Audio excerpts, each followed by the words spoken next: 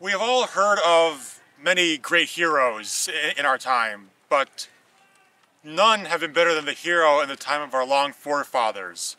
Beowulf, the hero of the North, more honorable and braver than any others, for he was no son of, a son of a god like Siegfried, but a man, like all of us, mortal, doomed to die.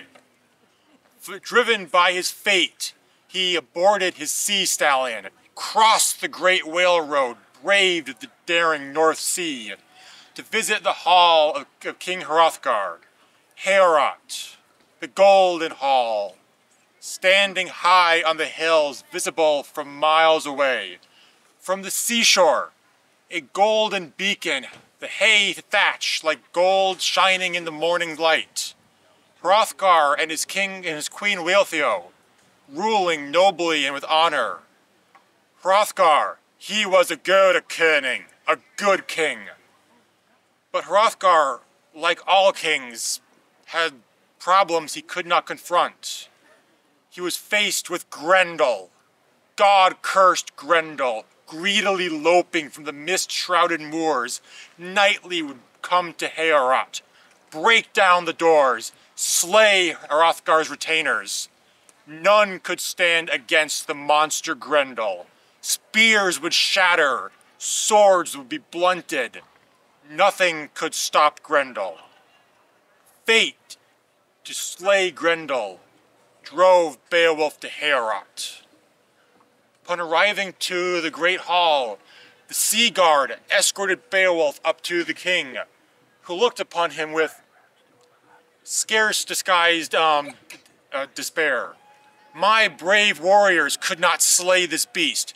How can this man, who I do not know, cast from the sea, could, could do it? But Hrothgar sensed the, the heroism and bravery in Beowulf and said, if you can spend one night in my hall and slay, slay Grendel, I will fit my name as a great ring giver, give you the wealth that I have, and bring you into my hall and service. As, as, as was their wont, Hrothgar and his retainers and kinsmen left Heorot, afraid of Grendel. But Beowulf and his companions stayed. That night, the moon was dark, mist shrouded the lands and came up to the doors of Heorot itself. Boom! Boom! Grendel hammered the door and splintered it from its hinges. Stepping into the darkness, the talons of the hands of Grendel reached out, grasped the body of the first man, and ripped his bone house asunder, sucked the marrow from the bones, and reveled in the death of the brave man. Grendel stepped forward again, reached out for the next man. But it was Grendel's mistake. Beowulf leapt up from his feigned slumber, and with his strength grabbed Grendel's hand and yanked. Grendel was not used to, to someone standing up to him.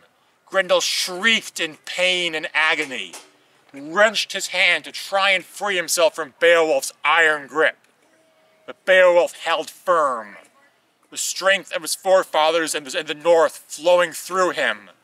He grasped, and with a mighty effort, wrenched the hand and wrist and arm of Grendel from the body.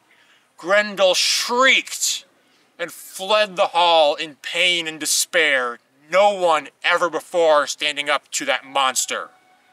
And when the morning came and Hrothgar and his retainers arrived at the hall, doors shattered and broken, the ripped body of a man in mail uh, before them, they assumed the worst.